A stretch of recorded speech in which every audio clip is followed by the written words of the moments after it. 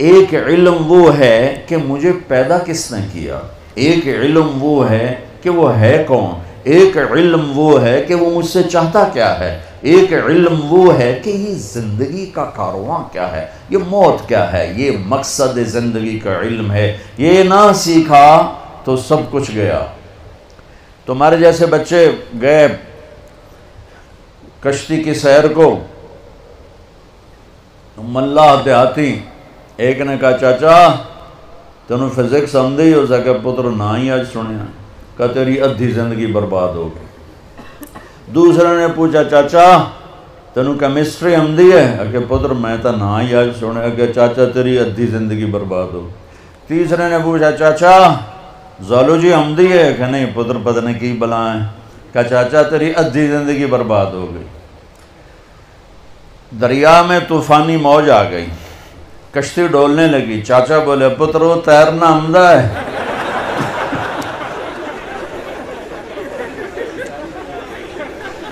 पुत्रो, तैरना है कि चाचा कोई नहीं है कि मेरी अद्धी गई थोड़ी सारी गई। तो बच्चों, तुम कॉमसेट की डिग्रियाँ ले लो या हार्वर्ड की ले लो या कैम्ब्रिज की ले लो, ऑक्सफोर्ड की ले लो। अगर अल्लाह को नहीं जाना तो अल्लाह की कसम सारी ज़िंदगी बर्बाद हो गई। अल्लाह की कसम बर्बाद हो गई।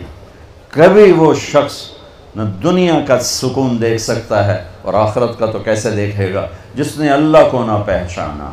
इसलिए हमारे अंदर एक इल्म मौजूद है, कुरान, जिस इल्म को चैलेंज नहीं किया जा सका। आज तक मेरे रब का कुरान चैलेंज कर रहा है, फातू बसूरत में लाओ, इस जैसी एक सतर लिख दो एक सूरत लिख दो, एक लफ्ज़ देख सारी दुनिया में आज अरबी पर पीएचडी हो रही है, रिसर्च हो रही है, क्या क्या तह तक चले गए हैं।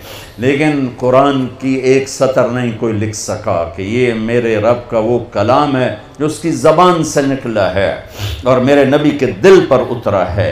इन तंजील रबालमीन ये रब्बुल का कलाम है। नज़ल बहरूल अमीन, उसे जबरील लाया है। अला कल्ब मेरे नबी के दिल पर लाया है।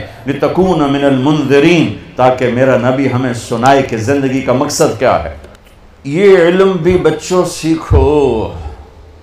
कौन है बनाने वाला? किसने आसमान खड़ा? देखो, ये किसी ने शामियाना लगाया है। ये ये सब्ज़ा, ये बिल्डिंग किसी ने बनाई है। कौन है जिसने आसमान खड़ा कर दिया? कौन है जिसने हवाओं को चला दिया? कौन है जिसने सूरज को आग दे दी, चाँद को ठंडक दे दी, तारों को हुसन दे दिया, रात को अंधेरा दिया, दिन को उजाला दिया?